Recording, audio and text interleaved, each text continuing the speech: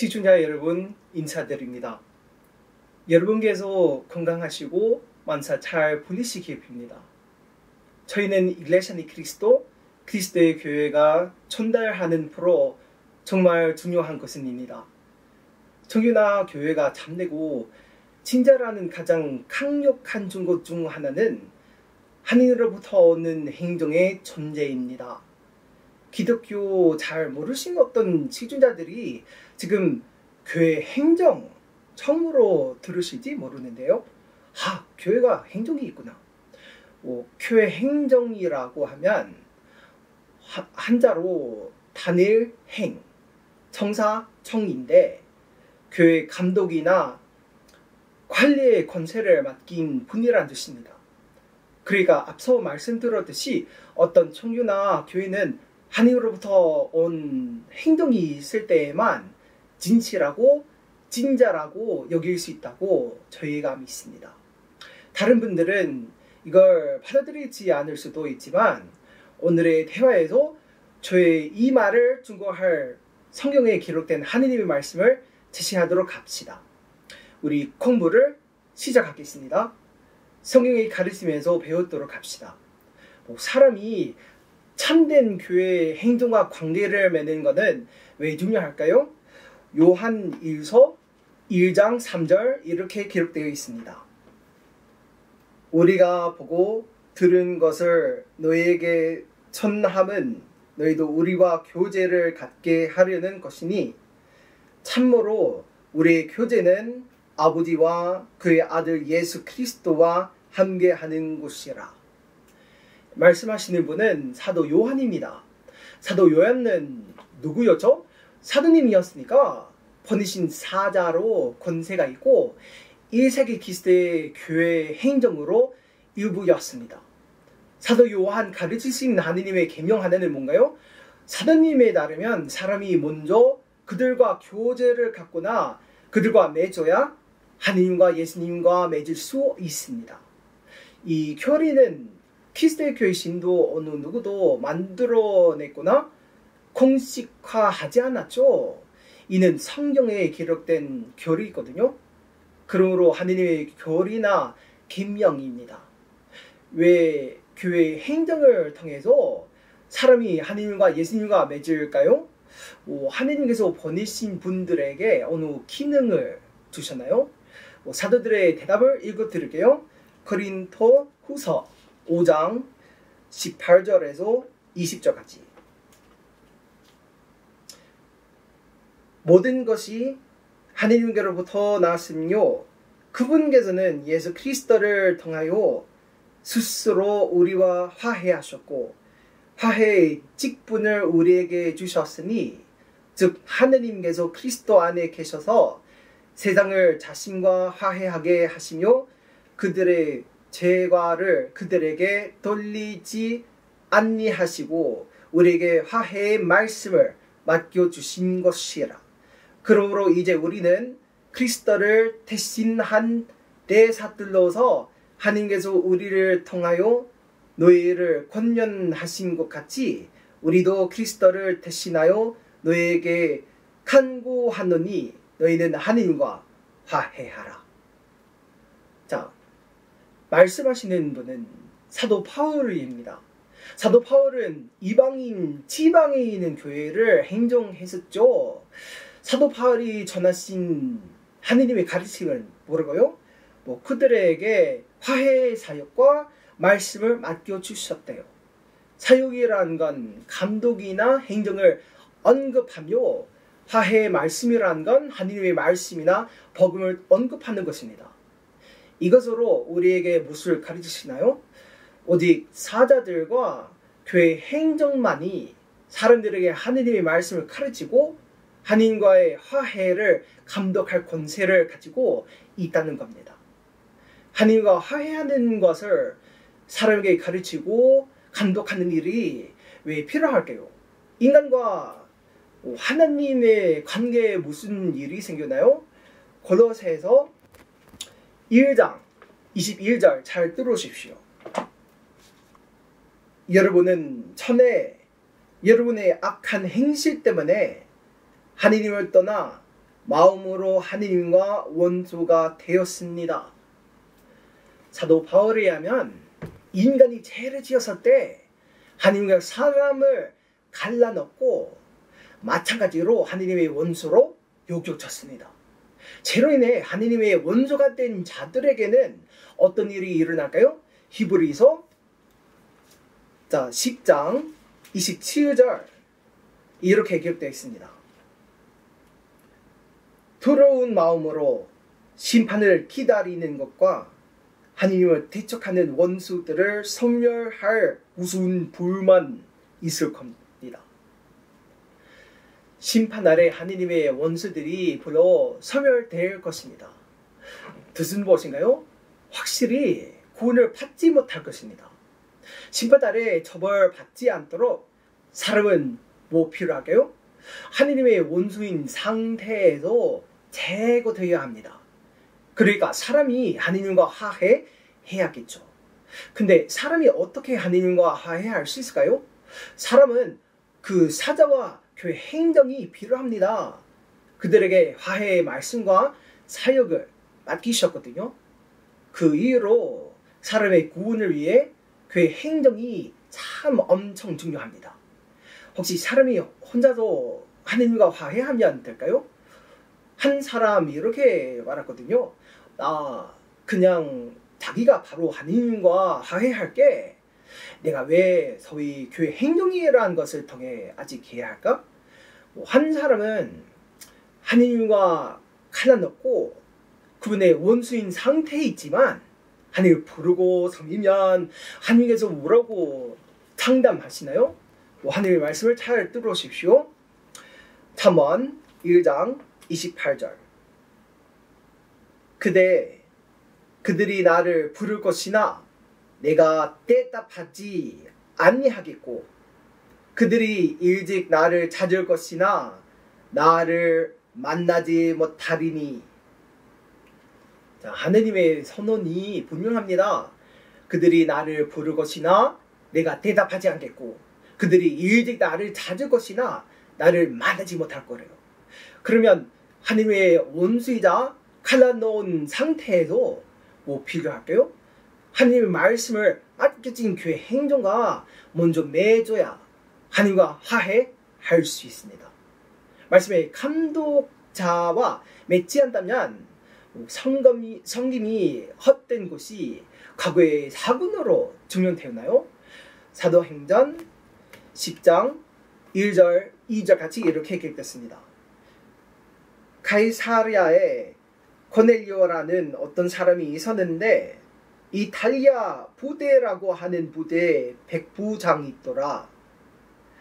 그는 경건한 사람으로 온 집안과 더불어 하나님을 두려워하고 백성을 많이 꾸제하며 하나님께 항상 기도하더라.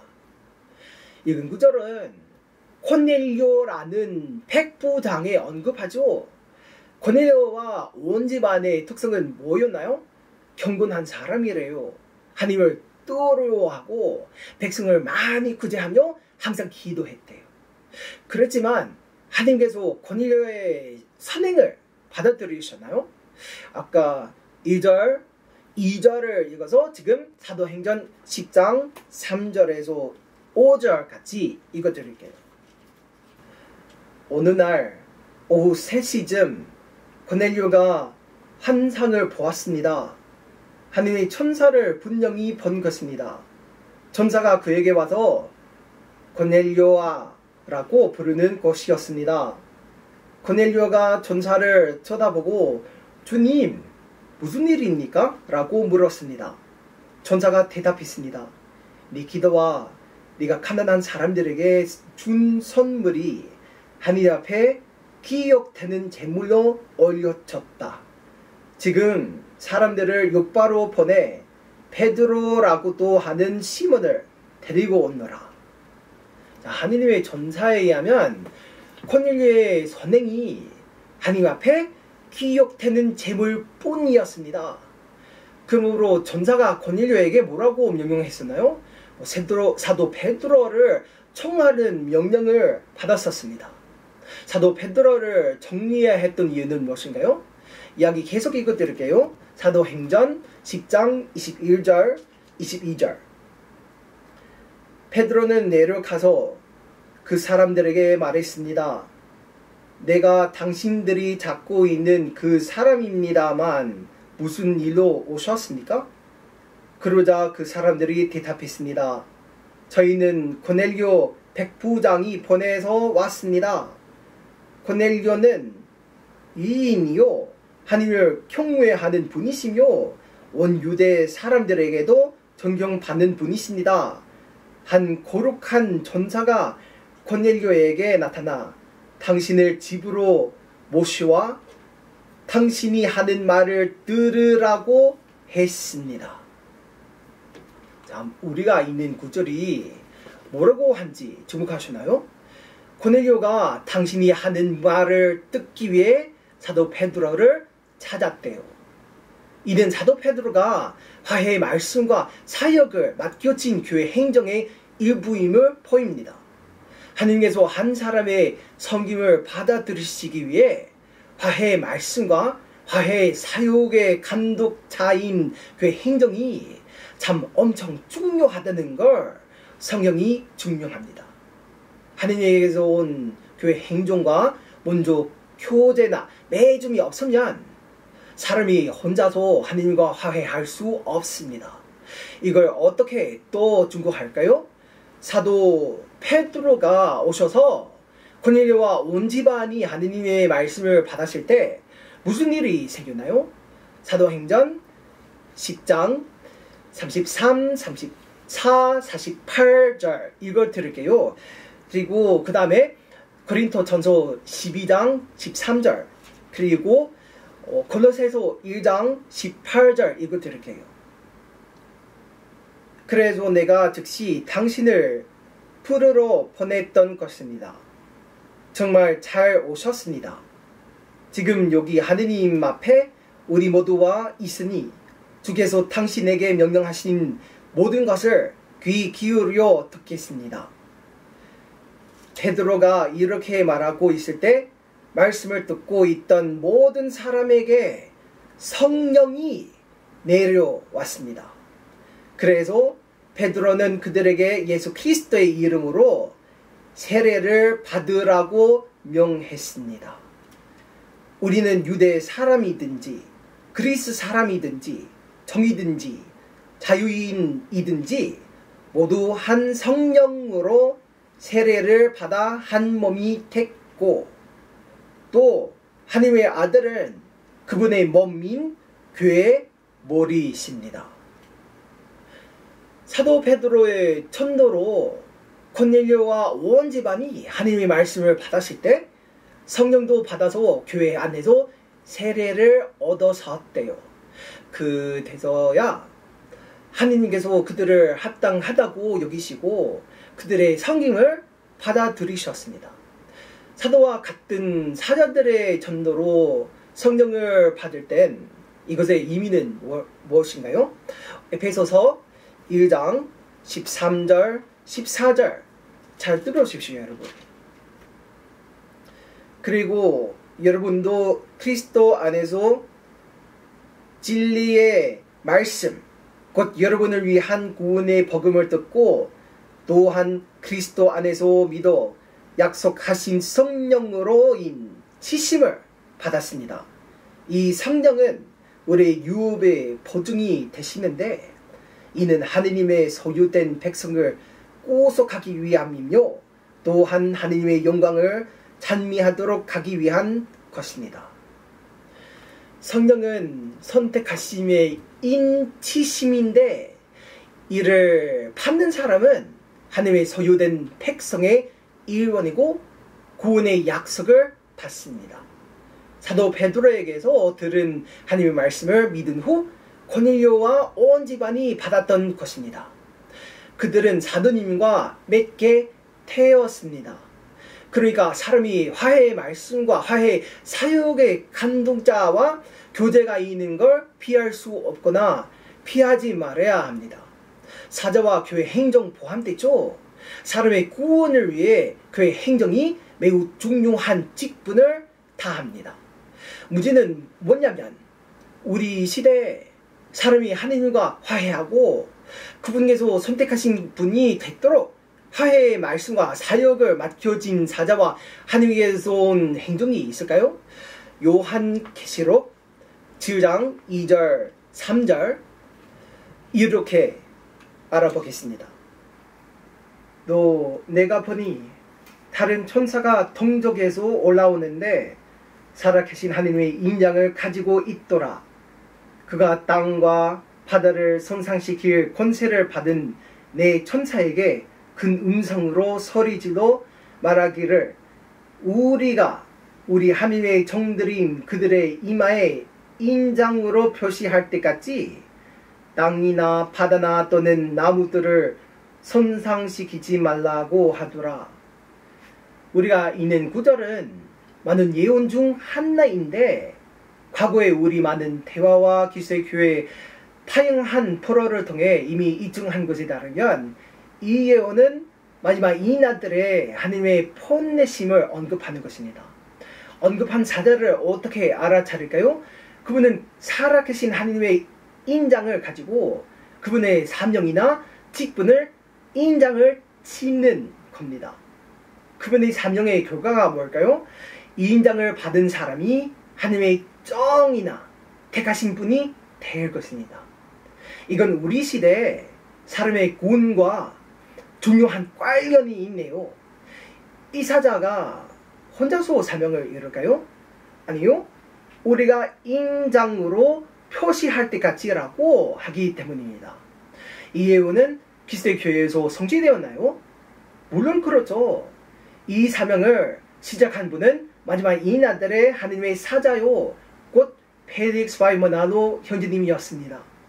사자님이 돌아가신 후 그리스도의 교회를 이루기 위해 하느님께서 에라뇨 지 마날로 형제님을 임명하셨고 그 다음에 하느님께서 임명하신 분은 에드와르도 비 마날로 형제님이요 그리스도의 교회 현 총재입니다.